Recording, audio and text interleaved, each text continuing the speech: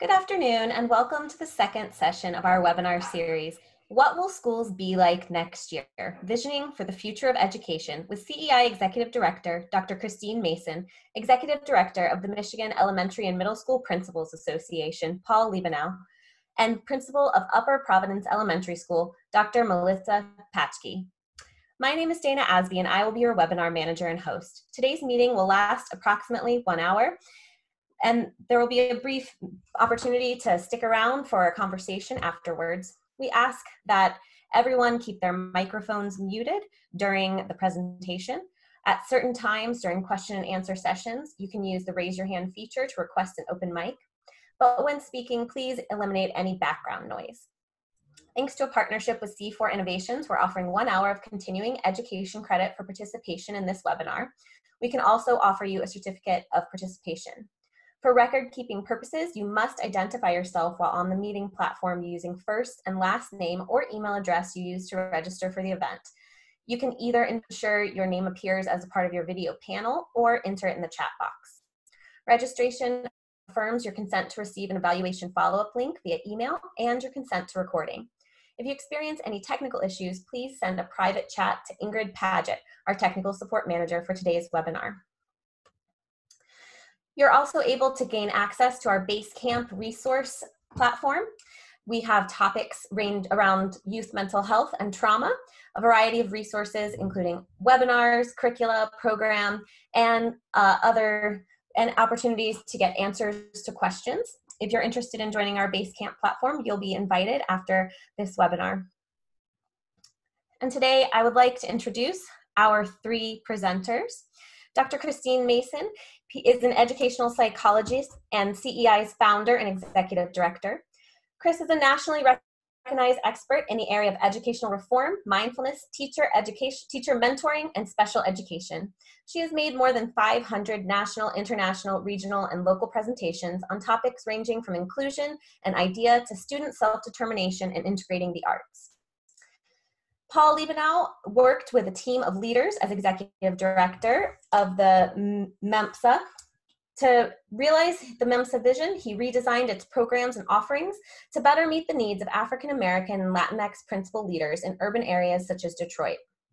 Missy Patschke has served public education for over 30 years. She has taught in a variety of special and regular education programs, worked at the middle and elementary levels, and served students from both urban and suburban areas.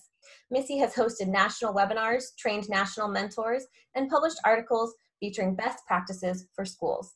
Thank you again for joining our webinar, and Dr. Mason, I turn it over to you. Welcome. You know, we never would have dreamt that would we would be visioning with you during a time like this.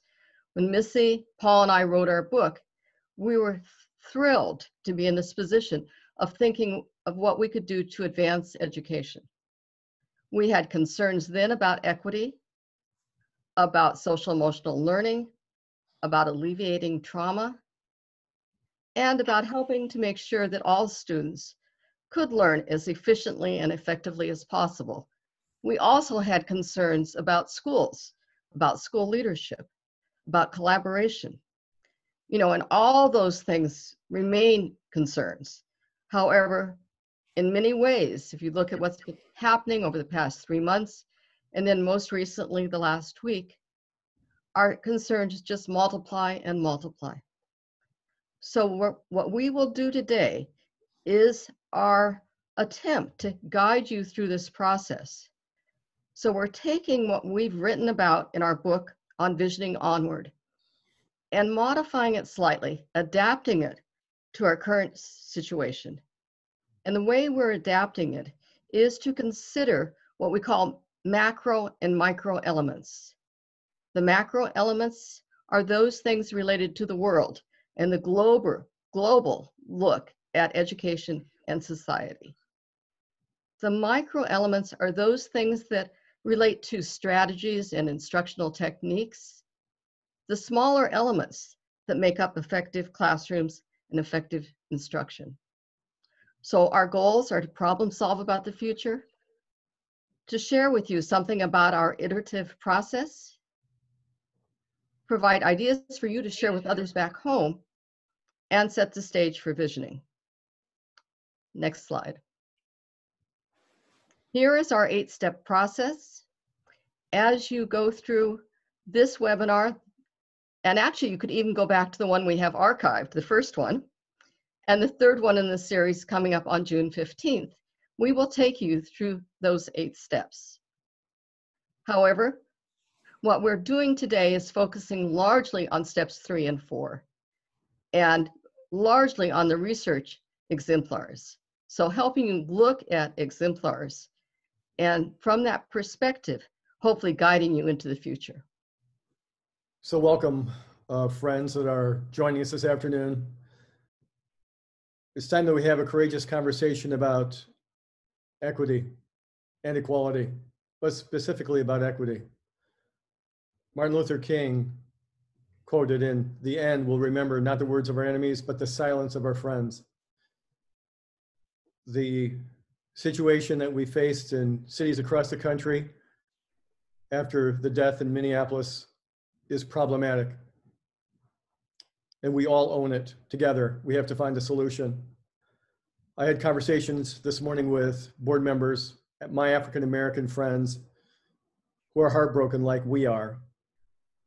And we must join together to find answers to solve this long ongoing problem. Are we getting better? Possibly yes. But racism is still inherent, bias, covert, sometimes overt. And today we need to be serious about finding a solution. We need to armor up together to find a solution. Chris? Sure. I just want to point out that I think it was just last week, uh, Maria Restrepo Toro, who manages the Mental Health Technology Transfer Center where we do our work, did a presentation on courageous conversations and equity. And there's actually a four step process that people have written about and practiced. We are going to have more webinars in the future more information coming out about that four-step process.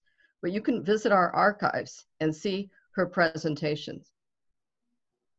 We believe that it's time for communities to have serious dialogue and that it needs to be done in such a way that in fact we honor and uplift everyone and particularly we turn we turn towards justice and equity as we do it. Next slide. As we go through our webinar today, if you have any comments, feel free to, to write them in the chat box. As Dana said, we will give you an opportunity at the end of the session to join us if you want to in breakout rooms. If you have particular ideas for conversations, just make a note and we'll try to pay attention to those as we plan for those sessions with you. So looking at the macro elements, you know, for our first webinar, we turned to uh, more of a conservative think tank, and we saw some of what they're saying in terms of a blueprint for the future. Today, we're going to some recommendations partly from the World Future Society, but these are from more progressive um, viewpoints. So this starts with Muhammad Yunus, who was a Nobel um, Prize winner. And he is the, the person in India who actually started micro lending and micro banks, if you remember that. And he says, really, right now, there are two visions one, to return to the status quo, and the other, to rebuild a world. And he says, the world we need to rebuild will be one with maximum social and environmental benefits to society. However, businesses will play a key role in achieving social purpose. The second view of a post COVID 19 society comes from John Davis, who's an environmental architect uh, in California. And he has written about reintegrating wildlife into urban areas he begins his blog post um, talking about a conference that was recently held in the Netherlands with something like 70 scientists And what Davis is saying, not only do we need to see growth in health, education, and clean energy sectors, but there's some areas where we need to see what he calls a degrowth. And that would be, you know, putting a halt to consumerism, to uh, depleting our environmental reservoirs, to considering what we should do in terms of equity and such things as a universal basic income, what we can do with food production, reducing travel, and debt forgiveness. Next slide. So as we reflect on our conversation the last webinar, those of you who were able to join us, we talked a lot about how our culture and how our society has shifted during COVID-19. And some of the pieces that are just absolutely relevant to everything that's moving forward is our ability to be collaborative, be empathetic of others, and to be resilient. I would just add to this this slide is based on some discussion by Rudy Kimmy, who's a professor in South Africa. And so what we're giving you today is an international perspective, some of it from developing countries, right? And it's interesting if you look at collaboration, empathy, problem solving, these are very similar to what we call our heart centered learning approach and our approach to alleviating trauma. Building resiliency is critical and all of us are going to really need to consider what we can do to help uplift ourselves and others to be more resilient.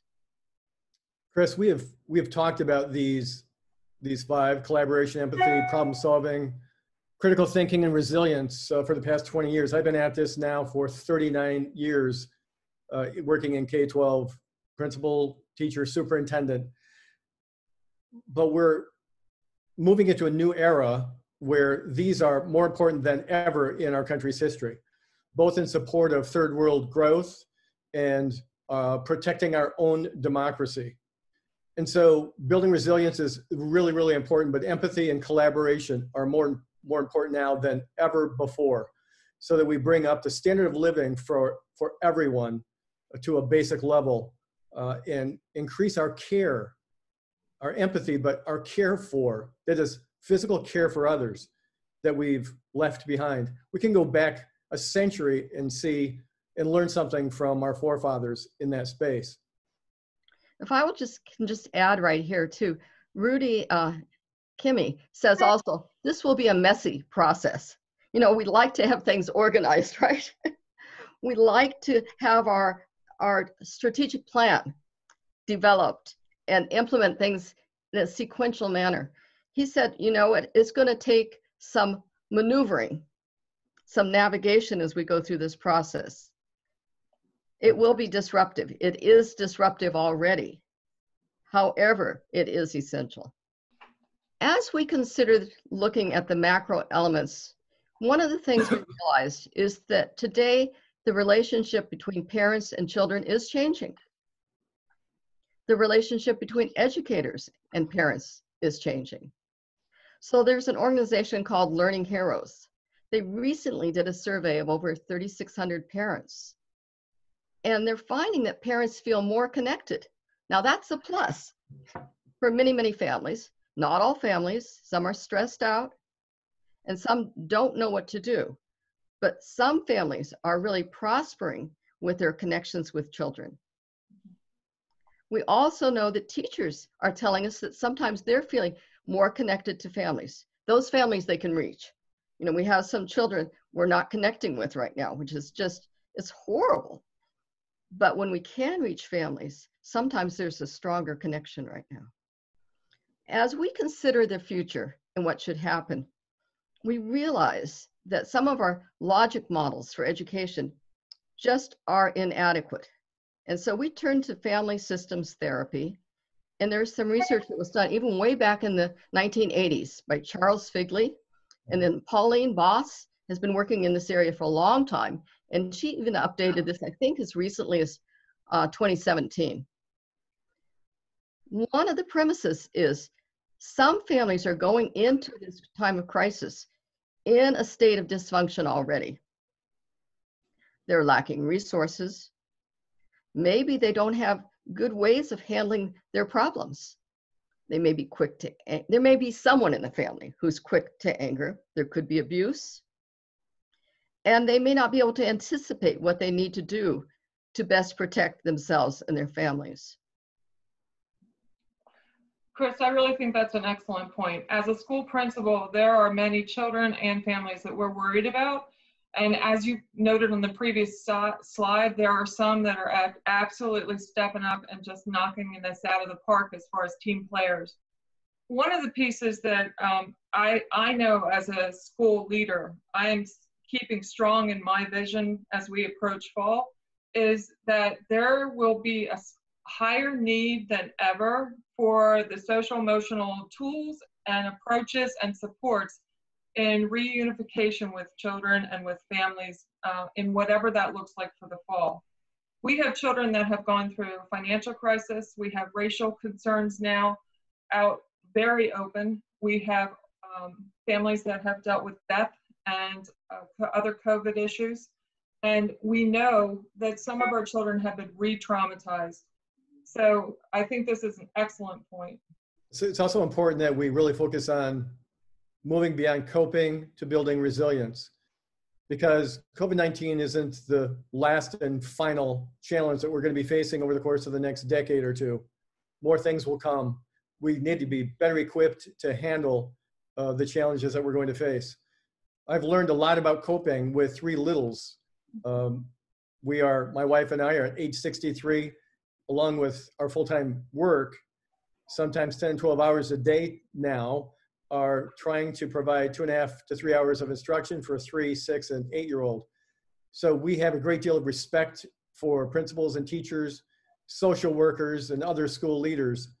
And we're trying to build both in ourselves and in our grandchildren resilience to better prepare us for the next thing.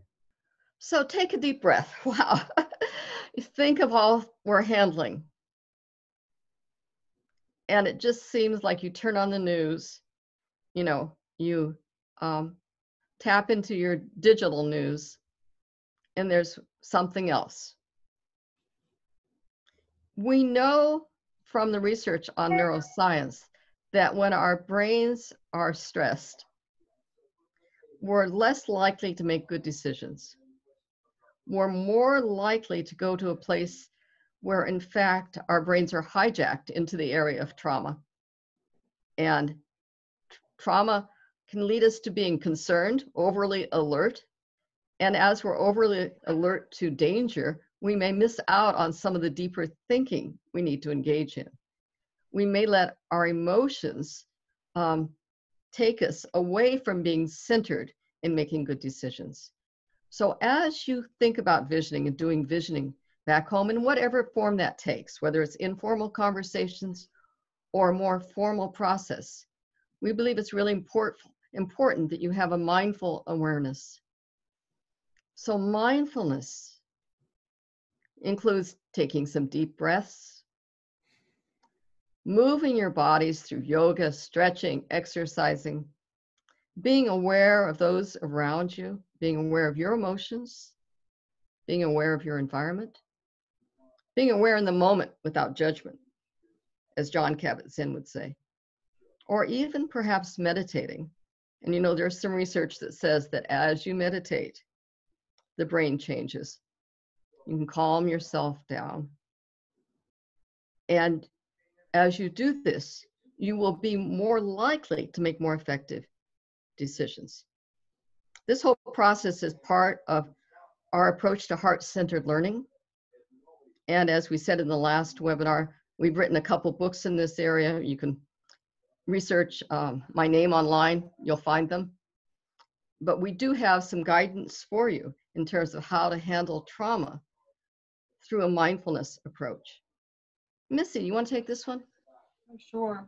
So one of the most important pieces that we advocate for in the process of visioning is uh, being inclusive of those of your team and the opinions, uh, both those that you feel are in congruent with with your system but also it's important to hear from those in the opposition of the direction that you think you're going and in saying that when you include stakeholders from all perspectives you're going to be able to drive a vision with um, with a power and synergy that people own that human beings want to see happen and you know a lot of the work that john Hattie has done around the impact of beliefs and the impact of collective efficacy all relates to this element.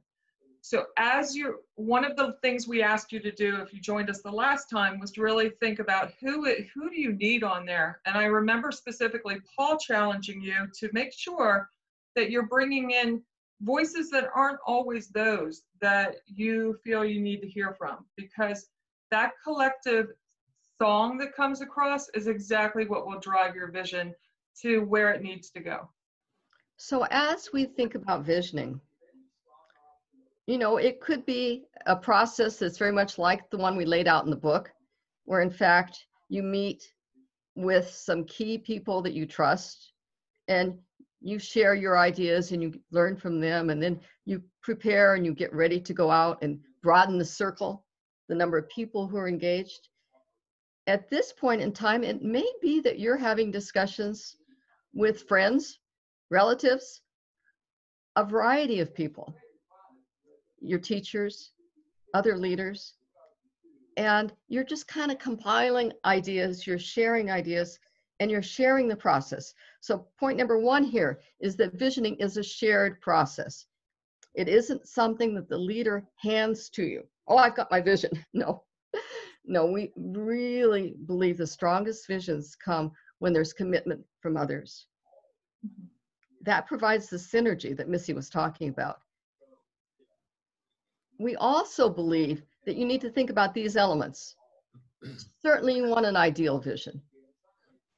we also know that, particularly at this time right now, it's hard to get too optimistic, to get way out there you, you kind of pull yourself back in a little bit because you're not sure if that that vision that's really really ideal, idealistic will really even work so you're going to temper the idealistic with the practical however as you do this be inclusive think of equity think about the students and families that most need support know that you'll need some flexibility because things are shifting moment to moment day to day and this is like a, a large scale experiment in many ways. Even as we look to other countries who've already opened their schools back up, we gain some information. Still, we never know what's around the corner. So you need to keep that sense of adaptability and flexibility. Even as you do this, venture out and explore some of the things we've been talking about. Be bold, but do it with compassion and empathy I think all these are really important for your process and for our future.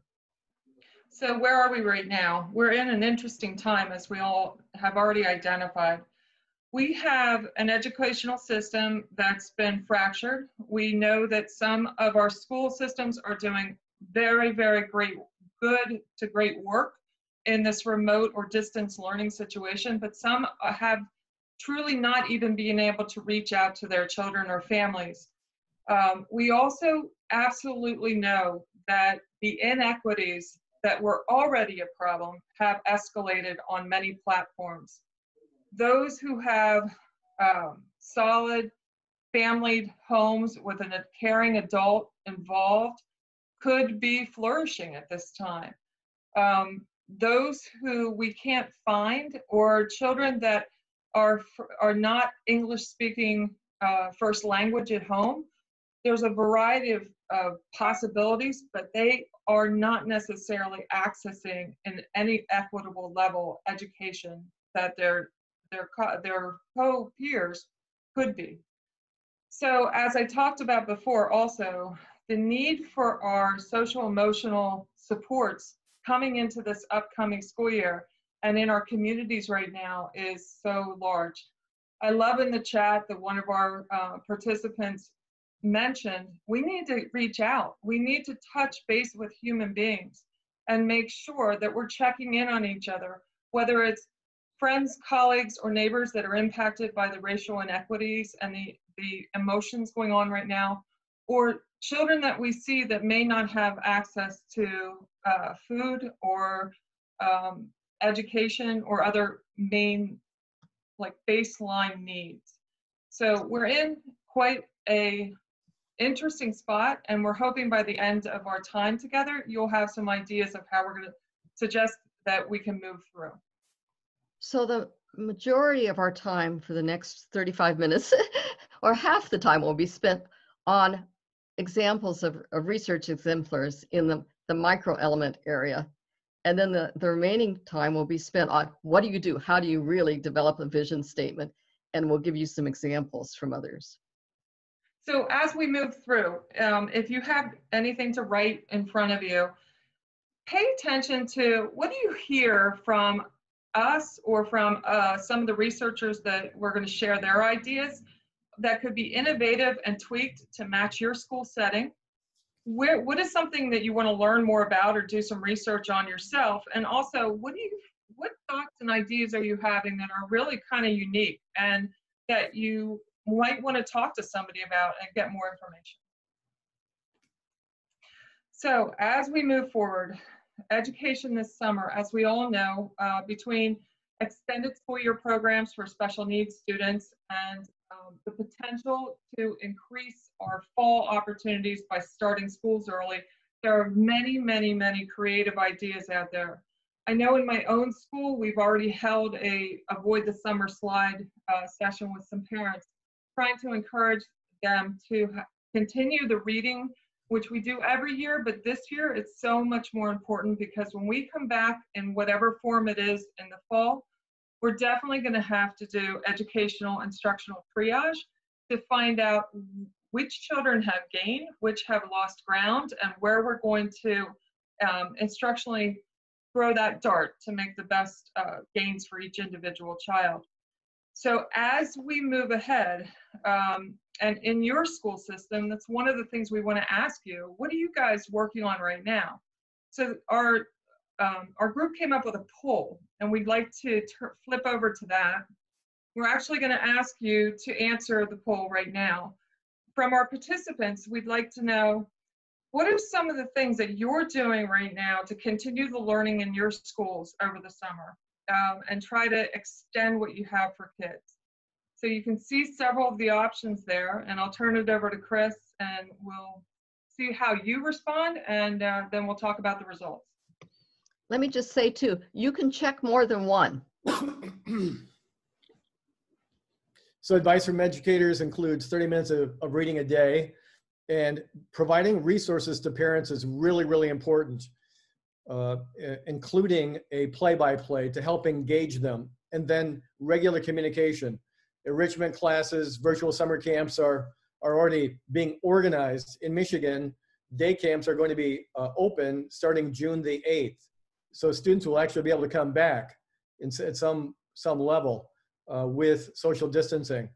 But in other cases, there will be remote uh, learning at a distance kinds of opportunities for kids throughout our state and throughout the country via extension of uh, many of the tools and products that vendors are providing, including Scholastic and Lexia uh, and, many others. So I'd encourage you to encourage your staff members and your school districts to provide resources, the free resources to, to parents, but follow up with accountability, build in some communication to provide accountability.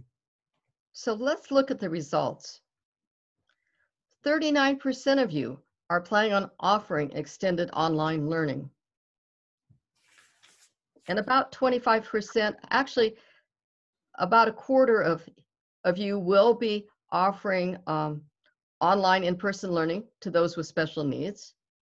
About another quarter will offer packets of work and suggested online activities, but without regular contact with families. Only about 20% of you are going to offer food services without extended learning. And about 20% will be closed for the summer and I know that, that, for some of you, these must be very difficult decisions.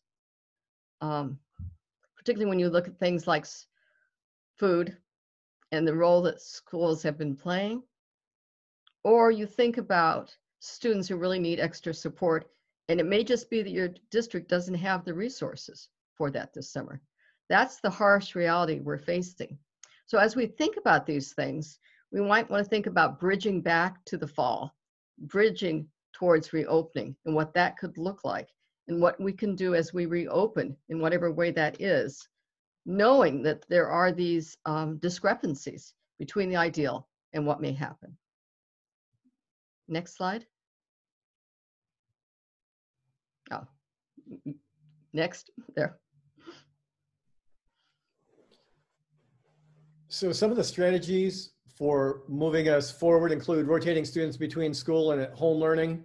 An example uh, in a local district in suburban Detroit, uh, West Bloomfield, is to have school two days a week for students Monday, Tuesday, a day off for cleaning, and then remote for that same group for Thursday, Friday. I've seen a dozen different uh, approaches and ideas coming, and I'm currently working with our Michigan Department of Education, uh, focusing on our back to school plan. We likely won't see something from the governor's office until middle to late July, which seems a bit late. But that said, budgets are being cut in this state and across the country by as much as 20 to 25%. Imagine taking 25% of your personal income out of play and how you would have to regroup and remanage your life and lifestyle. School districts across the country are facing that very, very thing. So we need to, in spite of that, find ways that we can provide continuous counseling supports, work closely with health departments, because we're going to be coming back to doing daily screenings. Will a bus driver take the temperature of a child before he or she gets on the bus? Will we take their temperature before they come into the building? How will we, how will we determine who has been exposed to COVID-19? There are so many questions to be answered, but we're learning so much the good news is we're learning so much from this calamity that will help us moving forward, both in terms of instruction, learning, curriculum, delivery, uh, and relationships, building relationships with families. I've seen great growth in that space. Chris? Yeah, I would just say too, if you look at this list, there's all these things from the restroom policies and where you drop kids off and how does that go? Um, to what happens as students is maybe it will be teachers who transition between classrooms rather than students. But if someone's being sent to a school nurse what does that look like? If there is an infection in your school or community what happens to your school? So i know you're thinking about all these things and we just urge you to to build into your plan some flexibility so that you have a way to adapt to the circumstances. So beyond that eight, I have a list here of 52 questions and issues that superintendents and principals are trying to address in our consideration of how we come back to school. All of your schools are facing the very same questions. And so please add your innovative idea. As zany as it might sound at this moment in time, it could be a reasonable and viable solution in the near future? So here we go. We're preparing to reopen. And as has been noted, uh, for example, I'm a principal in Pennsylvania. We're pretty close to the New York City, Jersey, Philadelphia region. And uh, we're still on full stay at home order. And um, other areas of the country have already opened up and are um, following distance or social distancing guidelines, but that might look different. So here are some things to consider from your lens because every community has their own uh, resources and um, limitations to this answer. So some of the things to consider is, of course, number one, safety. Do no harm. Make sure that every decision you're making is keeping the, the children and the community as safe as possible within the guidelines whatever they are that you're being provided in the area of our country that you're in. Secondly, people need to be heard. You need to listen and talk to your parents, to your teachers, and if age appropriate, to the students. Find out what they're comfortable with. What are their ideas? For example, in our district, we're starting to talk about all different plans. So when our governor or our health department tells us our, our guidelines in Pennsylvania, we're ready to go with a, with a plan. And one of those is we're going to be surveying our parents to say, are you even comfortable in sending your child back to us in the fall, no matter what the direction is? Or would you prefer to have an option of a, of a public cyber, cyber uh, element to keep your children home? Now, we're asking, we're going to listen to what comes back. And then, of course, there's several more survey um, questions on there about a hybrid setting and about returning to a full brick and mortar school. The other thing is try not only listen, but try to engage multiple groups so that we're hearing from different people's perspectives and realize that teachers need time to put all of these things together and they need your support as school leaders to do some trial and error because not everything's going to work well the first time. Um, next slide, please. As we move forward too, and I, I noticed in the chat, there was a, there was a, a note about inequities of um, access to internet and that type of thing. That is absolutely true we have to really start to look at how can we bring a level table to this playing field because this is not going to be new. We do have some time to plan for it.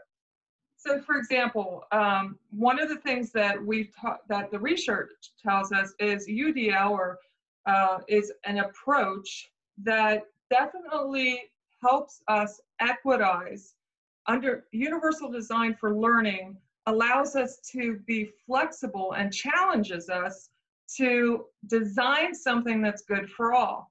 So how, what are multiple ways we can engage students? What are ways we can instruct that all children can learn from? And what are, how do we allow kids to show us how they can perform, not just through a traditional method? With everything we're managing right now with distance learning, we're being challenged to do exactly that right now. So that those are pieces we need to keep in the forefront because whether it's access to internet, um, the quality of the, the digital tools that are available, or even the availability of supports, we need to find ways to give more time and equity and allow teachers the time to connect with these kids one of the number one things that we know is uh, we've t- I've talked about is the need for the social emotional connection. Well, that comes with time. Um, our staff, our teachers, our leaders need to be able to have the flexibility to reach out and be, especially for some of our most vulnerable students, and do what they know is right for those children. So, as school leaders, this is time for us to back up and make sure that we're giving them that, that access. The other thing is to get really creative with how are we making sure that our children are building relationships? What are they being charged to do? For example, how are they interacting even under the social distancing guidelines? And how are we allowing them to build that peer support? The good news for most parts of the country is that we're seeing, seeing a Next slide assuming a dramatic improvement uh, uh, plan for um, connectivity. That is, we're seeing millions of dollars throughout the country spent to provide internet access, Wi-Fi access, and tools to students in sort of remote locations. And so that's uh, that's a bit of good news for us. But there are other ways to get to our kids uh, and keep them engaged. One of our biggest challenges throughout the country, as I'm hearing from principals from east to west coast, is keeping students and families engaged. The warm weather has started, so many are dropping off. In one district, in a suburban, wealthy suburban district out of Detroit, uh, they've lost connectivity with 40% of their students. That is, their 40% are MIA, and they still have two weeks of school left. And we've seen challenges in other districts where they've lost as many as 60% of their kids. And in others, they're at 90% connectivity.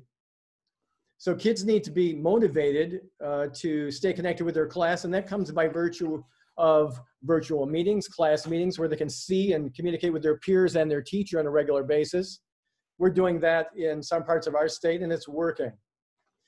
We need to also really consider uh, doing things differently by virtue of if we're stuck in a room, provide a virtual travel to explore new places. And that can be done simply by a teacher or leader going into the woods and, and uh, via Zoom, I should say via Facebook, Facebook Live, um, or, or um, YouTube, uh, really connecting with the kids with really exciting science activities, engaging activities, and then include, include students in the process. Let students lead a lesson. Let them share an experiment that they've done. We did that uh, not uh, too long ago with our kindergartner who demonstrated making orange juice uh, from oranges. He was so excited about it and his classmates were delighted to, to see his presentation, highly engaged. And then we need to give them a chance to experience different careers.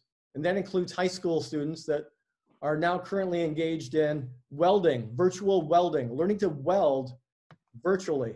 It's simply computerized. It's pretty amazing stuff. More of that is coming. And this is just the beginning of, of what we will see in the future. It helps us become more efficient and more effective in instruction, in teaching and learning. And the feedback cycle is still apparent and real. Chris? Yeah, I just want to um, point out that we've been receiving some requests to, to get our resources. At the end of the PowerPoint, which you will receive uh, after the session is over, we have links to all the research articles we've cited here. So you will have direct access and links to those. And the other thing I want to say about virtual reality is this is really a challenge to our uh, technology innovators. You know, they've taken it to one level with what we have available right now. But you can imagine with everything that's happening that there's people right now behind the scenes that are doing more with virtual reality.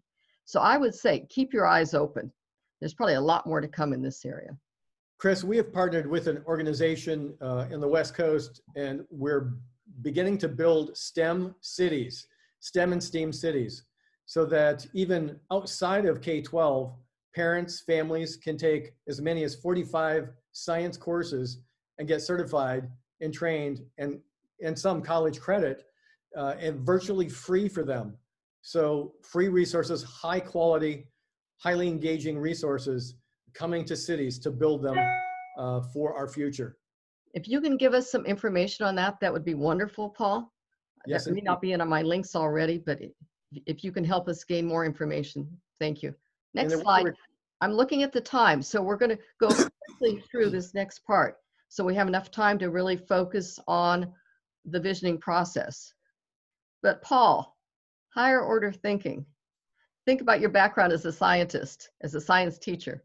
Well, it's really important, uh, as I mentioned earlier, that we help equip families as we're working uh, remotely and learning at a distance, that we send lab kits home, disposable lab kits, uh, and make the list and help parents prepare with tools and, and things that they have uh, at, their, at their home.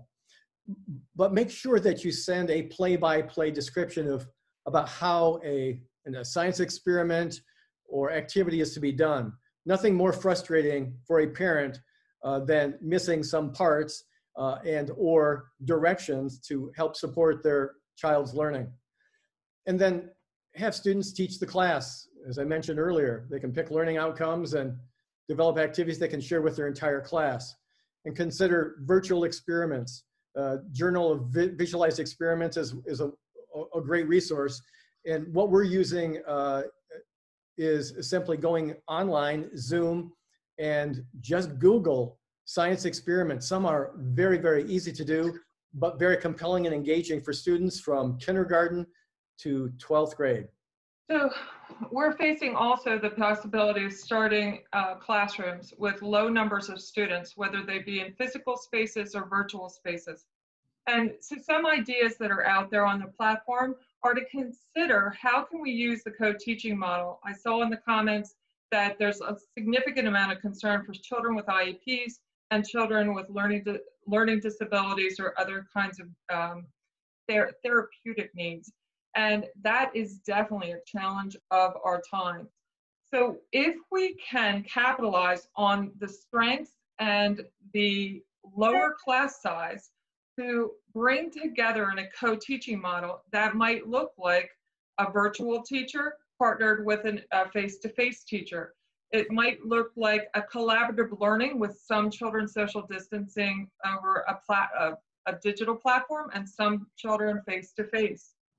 There's also the flipped classroom model, which would be the instruction, the formal instruction, direct instruction comes out on a video component or over a virtual, and the time spent face-to-face is in small group remediation, exploration, and in enrichment categories. So one of the pieces, no matter how creative we get with all of these limitations uh, that could be put around us, is to consider professional development needs for staff. Not all teachers are at the same spot with understanding how to use these tools or to deliver instruction effect effectively in these manners. We need the time to teach them. I have teachers using Flipgrid and Nearpod and some really amazing tools so for example, as, as Paul had mentioned before, um, I, I have teachers that have assigned, we call it a wax museum, where they have to, children have to do research on a historic figure, then pretend to be that person and uh, give an oral report. But we did that now virtually on Flipgrid, so they can all see each other, and it's just really a wonderful experience. But that came about because of the the idea to put that on a video virtual came about because of our situation. So there's a lot of creative tools out there. So Missy, you mm-hmm. brought up special ed, and I know we've had a couple comments online. You know, it is a difficult time, and we know that we're not adequately providing services right now. Uh, the Council for Exceptional Children, the National Center for Learning Disabilities, the Federation for Students with Special Needs are just a few of the organizations that really are focused right now on helping us try to find solutions. Here's one idea from a teacher uh, at, in Baton Rouge, Louisiana, and that's to have some of the students who don't have reading uh, difficulties record posts, uh, record reading selections so that students who have trouble reading can understand and hear those. So you combine that with universal design for learning, and then we think about uh, collaborative teaching or co-teaching. And what is the special educator going to do while there's a, a, teacher in a classroom with 10 kids? Is the special educator going to be helping the other kids out virtually during that, that time? You know, we need to get creative. And there will be solutions that come, but thankfully, most people are showing a great deal of patience right now. And um, I think that is needed, along with understanding that if we have extended summer schools, we're going to have less regression that will help some. So just another um, reminder about mindfulness. This is an example from our, our book on mindful practices. And what it says essentially is that courage is one of these things that we need to consider. And here's a very simple exercise. So we're just giving you one right now. And but we have, I don't know if it's close to 200 pages almost of these exercises in our books. They can be adapted for various grade levels. So I, I do think for many students right now, you know your students, think of your students. Some of them want to be asked about what's going on. They want information and knowledge. They want to be able to talk about it, to problem solve, to think it through. And courage is one of these positive ways of looking at what's going on. Next slide. Okay, so we are now at the point where we're going to talk a little bit about the process. That's fine. We, we can go ahead two slides. So we've been giving you lots of ideas, the macro and micro elements.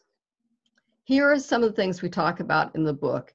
Some of this comes from our understanding about um, corporations that have been hugely successful. So go ahead and keep your vision statement in present tense. Accenture, which is a company that works on the digital frontiers in, in, in a disruptive way, says, let's think about the cloud, social and collaboration technologies, and then allow organizations to tap into these What can we do to support this? What about an inspirational phrase? Here's one from Apple constantly innovating. Focus on the few that are truly important. They focus on the simple rather than the complex.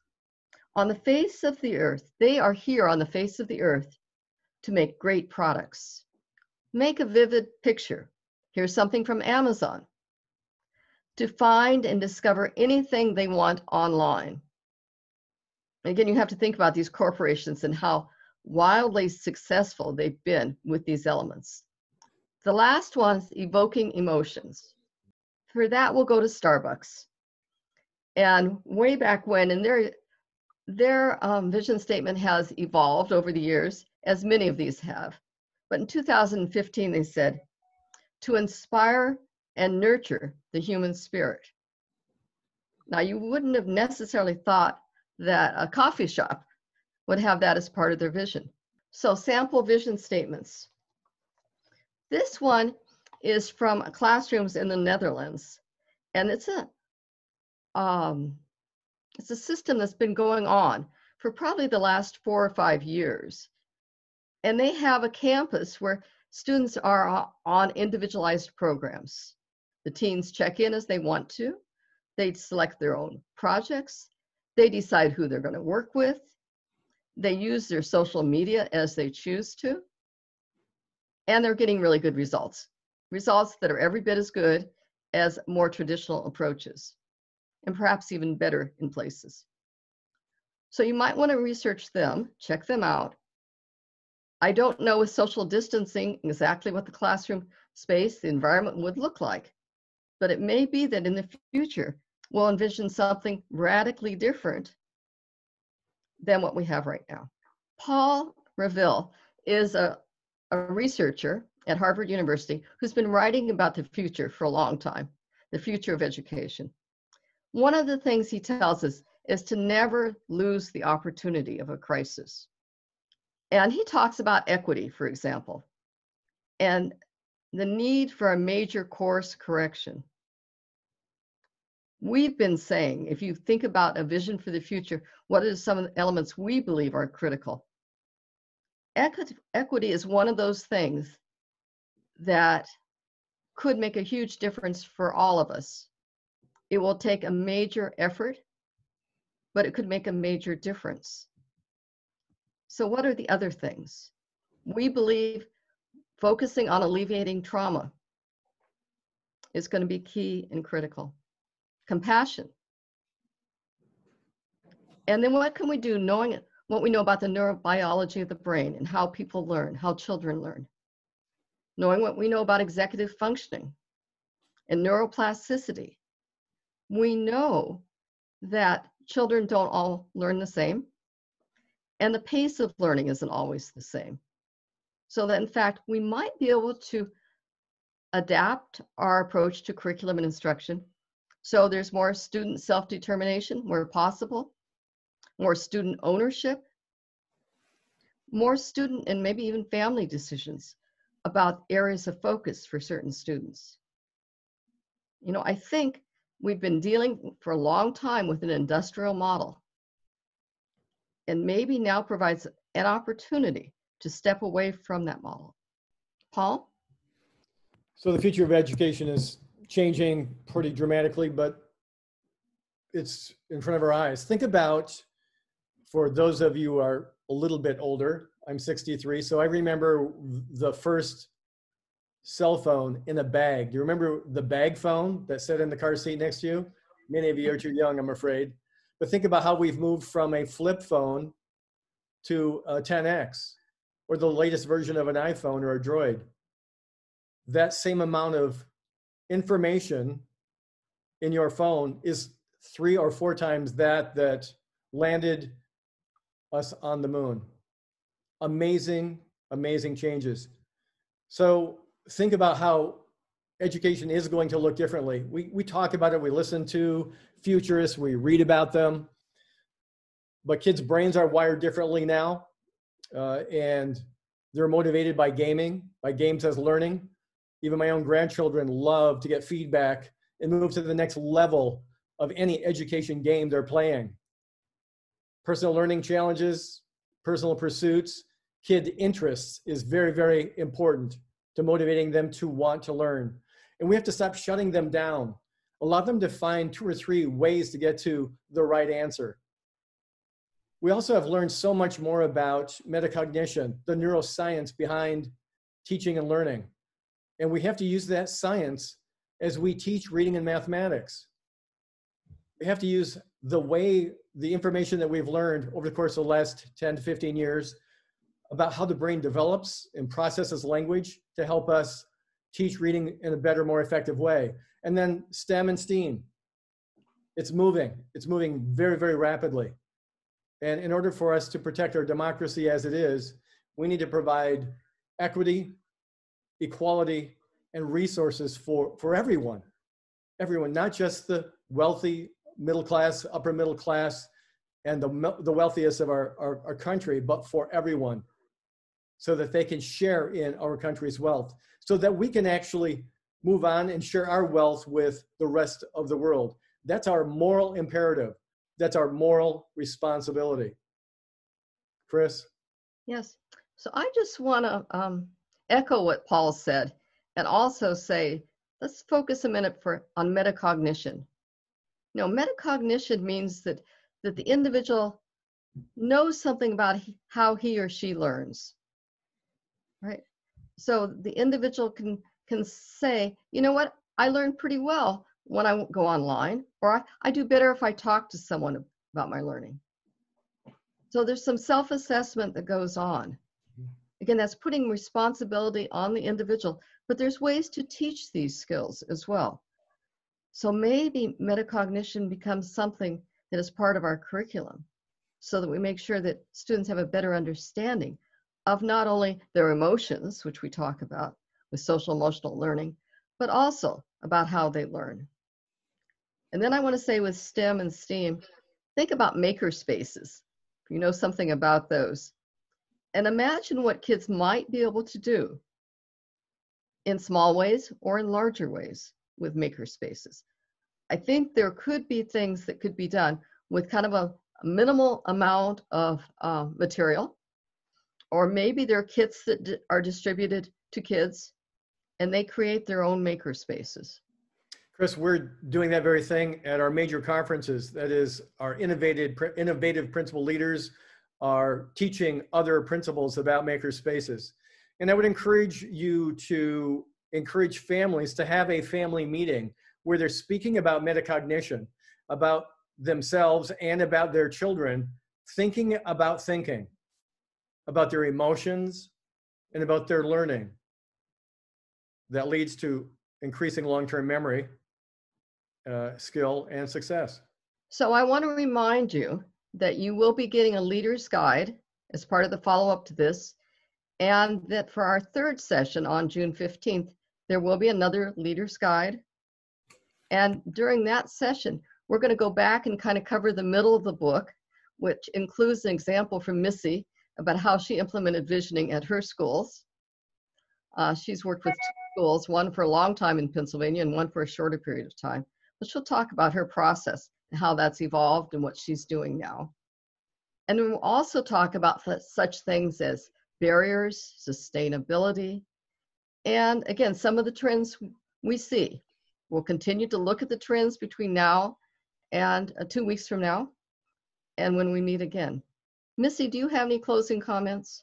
Yeah, I I think I want to remind everybody on the call, well, no matter your position or the, the place that you are in school, whether it be leadership or instruction, this is a time where visioning is probably the most crucial thing to drive forward during this crisis or during times that are unknown. Um, using the tools that Chris and Paul and I have shared with you, hopefully will allow you to be pull the confidence that you know you have, depending on your community, the pieces that you know are so important to serve your students and allow them to continue on no matter what our platform looks like.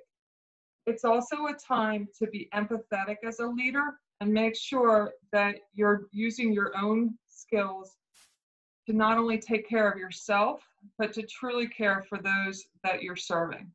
Um, and I want to end just by saying thank you for being champions to our children because the way we get through this is together and the, and by sharing everything that we know our successes and failures we're all going to be better for. It so paul anything? Well to reiterate what you both shared thank you all for joining us. Thank you for leading in your space uh, i also work in the private sector. I own a couple of businesses and i believe more than ever uh, in my life that the roles that you are playing are so so important more important than ever and some of the most important uh, in the entire country as leaders teachers uh, principals superintendents counselors and social workers. So god bless your work and thank you for leading so if you choose to hang around that's fine i think we have a couple closing slides dana do you want to just share those slides and we'll decide whether to go to breakout rooms or just hang out together. So thank you everyone for joining today's webinar. Our funding does come from the Substance Abuse and Mental Health Services Administration, which requires us to evaluate our services. Attendees that provided their email address will receive an evaluation survey 24 hours after the close of today's event, along with today's slide presentation and archive of the webinar. Um, CEU certificates and pres or present participation certificates. Um, links will also be included in that email. We really do appreciate your honest and anonymous feedback, which provides information to SAMHSA and assist us in planning future meetings and programs. Um, we also invite you to join our Childhood Trauma Learning Collaborative. Um, you will be invited via email to the Basecamp platform where you can access some of our resources. Uh, we have another final session of this webinar series on June 15th. And on June 16th, there's a webinar about trauma-informed yoga in schools with me. Uh, so thank you very much for attending. Please uh, reach out to us if you have any questions whatsoever and stay on the line if you'd like to chat with us.